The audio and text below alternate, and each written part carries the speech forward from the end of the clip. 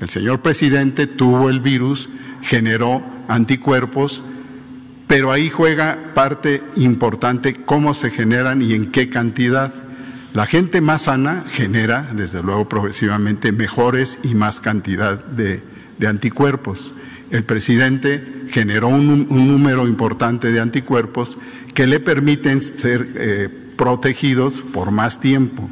Y cuando hablamos de más tiempo todavía no conocemos qué tan más tiempo, cuatro o seis meses, hay, y hay estudios donde a los ocho meses ya no tienen esos anticuerpos y entonces quedan indefensos como si no hubieran tenido la enfermedad. Señor presidente, no es halago, lo conozco desde hace tiempo y además médicamente no se necesita hacer estudios, es una persona sana, es una persona que tiene una enfermedad de comorbilidad que es la hipertensión, pero la ha cuidado, la, ha atendido.